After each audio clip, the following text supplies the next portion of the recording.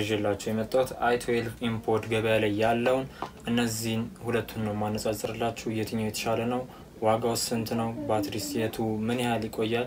እንዲሁም ደግሞ ለዘፈን beat ኡ የቱ ነው አሪፍ የሚለውን አሳያችኋለሁ አንድ ባንድ።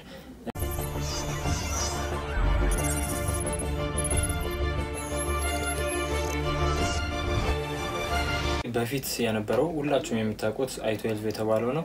ነገር ግን እንደዚህ ተሻሽሎ በ color መጥቷል። ጥቁር፣ ነጭ፣ ቢጫ፣ ሰማያዊ የመሳሰል color ኦችን ይዞ መጥቷል ማለት ነው። እሽጉን ስትከፍቱት ወይም unbox ስታደርጉ የምታገኙት እንደዚህ charging box ታገኛላችሁ፣ የመጀመሪያው ማለት ነው።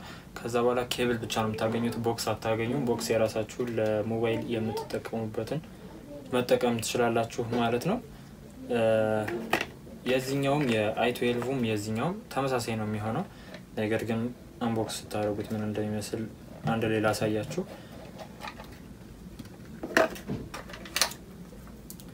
የዚችኛው ለየት የሚለው ፕላስተር ላይ ላይ ይኖራታል ማለት ነው ነጩ ስትገዙ። ከዛ እንደዚህ charging cable አብሮ ይኖረዋል ማለት ነው። ቻርጅ በምታደርጉበት ሰዓት ሁለቱም አንድ አይነት ተመሳሳይ color ነው የሚያሳየው። ቀይ ነው ብልጭ ብልጭ የሚለው ማለት ነው። ቻርጅ ላይ ስትሰኩት ለሶስት ሰዓት ለመጀመሪያ እንደገዛችሁት አዲሱ ማለት ነው ለሶስት ሰዓት ነው የምትጠቀሙት። ሁለቱም አገልግሎታቸው ተመሳሳይ ነው። ነገር ግን የባትሪ ቆይታቸውን ነው የምናየው። የባትሪ ቆይታቸውን በምናይበት ሰዓት እኔ የሞከርኩት ዘፈን ለመስማት ሶስት ሰዓት ላይ ይቆያል። ለማናገር ደግሞ እስከ አራት ሰዓት እስከ አምስት ሰዓት ሊቆይላችሁ ይችላል። እንዲሁም standby mode ላይ እስከ ስምንት ሰዓት ሊቆይላችሁ ይችላል።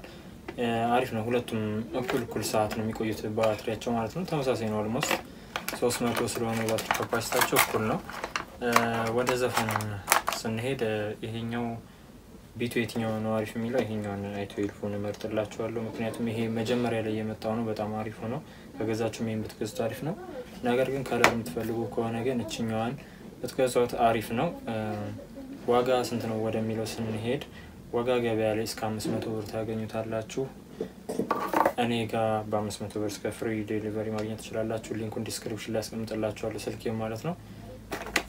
ስለዚህ ዋጋቸውም ተመሳሳይ ነው።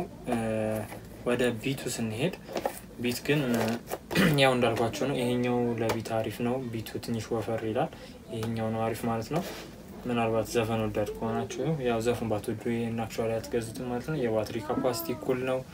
ዋጋቸው እኩል ነው። ነገር ግን ይሄ መጀመሪያ ላይ የመጣው ስለሆነ እኔ ይህንኛውን recommend አደርግላችኋለሁ እመርጥላችኋለሁ። ስለዚህ color የምትመርጡ ከሆነ ግን በድጋሚ ልንገራችሁ ይሄ ነው አሪፍ። ምክንያቱም ይሄ በ color አልመጣም። ይሄ በፊቱ ስለሆነ ጥቁሩ classic ነው አሪፍ ነው። ለሴቶች ሮዝ አሪፍ ነው። ስለዚህ እንዳልኳችሁ ነው። ዋጋው አምስት መቶ ብር ነው። ቪዲዮን ከወደዳችሁ like፣ share፣ subscribe ማድረጋችሁ እንዳትረሱ። ባባይ ቻው።